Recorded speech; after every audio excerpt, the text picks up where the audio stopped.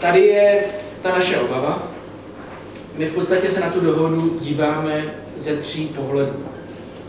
První pohled je pohled ekonomický, kde samozřejmě vnímáme potenciální rozsah těch dovozů eh, a vnímáme tam tři problematické oblasti. První je oblast eh, chovu masného skrotu a hovězího masa. Druhá oblast je drubeží maso.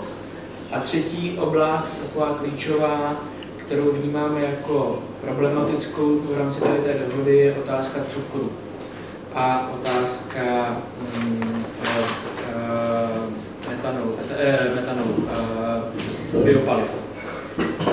Já bych chtěl říct, že ten druhý pohled, který vnímáme možná ještě jako závažnější, je pohled, kdy my se ptáme, za jakých podmínek jsou ty produkty, které budou směřovat eh, na evropský trh vyráběny. Ať už je to z hlediska plnění těch předpisů, o kterých jsem tady hovořil, otázka welfare zvířat, otázka používání přípravků na ochranu rostlin. Víte, že se v Evropě diskutuje o zákazu eh, třeba například glyfosátu, dochází k jeho omezování, máme tady zákaz některých neonikotinoidů a podobně, ale je to i otázka využívání geneticky modifikovaných plodin a dalších věcí. Otázka eh, používání antibiotik a, a, a tak dále.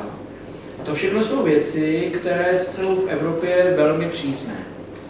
A samozřejmě s tím jsou spojené i i náklady eh, evropských zemědělců.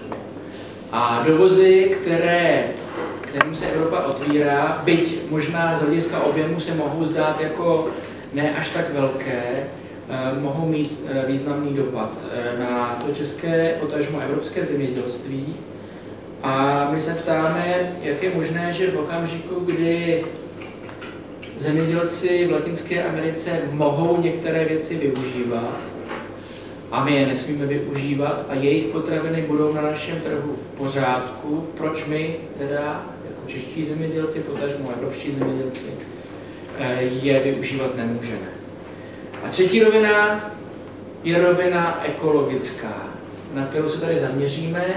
Je to otázka dopadu do životního prostředí a e, samozřejmě v globálním pohledu, nejenom globálním, nebo pohledu evropském, potažmo pohledu Lucha's camp.